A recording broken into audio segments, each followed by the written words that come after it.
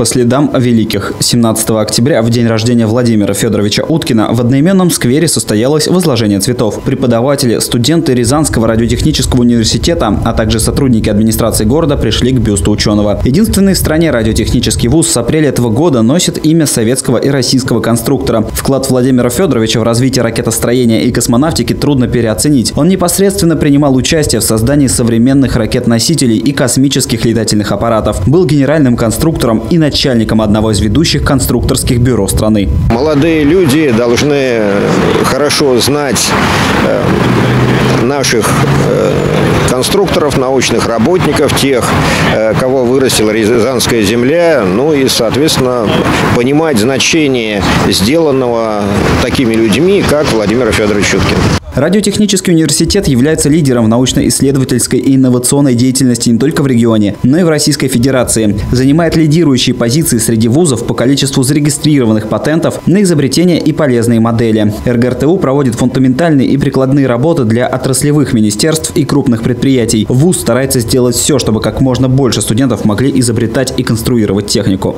Я думаю, что это мероприятие полезно тем, что персона Владимира Федоровича Чуткина выступает неким ориентиром для ребят, а, как жить, как добиваться своих поставленных целей. А, и, в принципе, может, это для кого-то послужит э, неким таким действием для того, чтобы оставить свое имя в истории. Мероприятие закончилось возложением цветов к бюсту Владимира Уткина. Руководство радиотехнического университета отметило необходимость регулярного проведения подобных мероприятий. Конечно, событие это важное.